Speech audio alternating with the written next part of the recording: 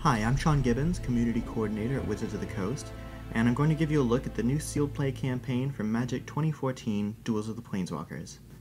For those who aren't familiar with sealed play, it's a unique and really popular limited format in Magic the Gathering. It's called a limited format because players are given a limited amount of cards to use each time. In the case of sealed, you open six booster packs, and the cards you get from those are what you have to work with in order to build what you think will be the best deck possible. And that's part of the fun. You don't really know what's going to be the best deck possible. You don't know what the best combination is. You just kind of pick what you think will work. You make sure you include some creature removal, like Flames of the Firebrand right here, and you just go with it. And you play and you figure out what works and what doesn't work, and you can add and remove cards in between matches in order to make your deck what you want it to be.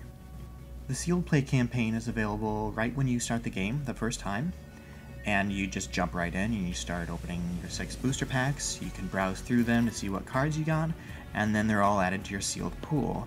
And when you've got your pool, when you've opened all six booster packs, you go into the deck editor, which is what I want to show you right now. One thing that makes Sealed Campaign really sweet is it's the first time in any Duels game that you've been able to make a deck from scratch, adjust what land you want in it and how much, uh, you can name it, and then use it in a single player or online game. Hey, let's talk about my deck. As you can see, I got Door to Nothingness, which is an awesome card. Maybe not the best card ever, I think maybe Pillarfield Ox is better because it's the best creature of all time, but let's say I want to make a deck around Door to Nothingness. There are a couple ways you can do that. You start with a blank slate, so you can just add Door to Nothingness, and you can add a bunch of cards you think is going to complement it, like Safe Passage, you can buy yourself a bunch of time and try to get the mana you need in order to crack Door to Nothingness, or you can rely on the autocomplete option, and that will finish up the deck no matter what you have going on with it, and make it into a playable 40 card deck. And if you just add one card, it will just complete the deck around that one card and try to make the best deck it possibly can using the little bit of information that you gave it. So that's pretty cool, and it doesn't affect your ability to edit the deck after that. You can go in as many times as you want and add remove cards. You can change colors around. You can decide, no, I don't want to play green, I want to play blue and black, and you can just rename it and build it just the way you want as many times as you want. Oh, you can also adjust the amount of land that your single player decks have.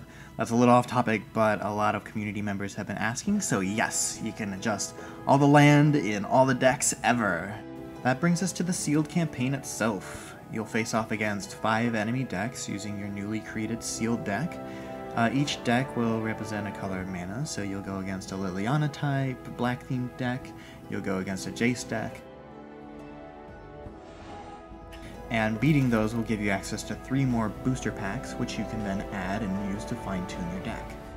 To finish off the sealed campaign, you play against a big boss. I got Garruk, so I get to fight against his sealed deck, and when you've won, you've beaten the campaign.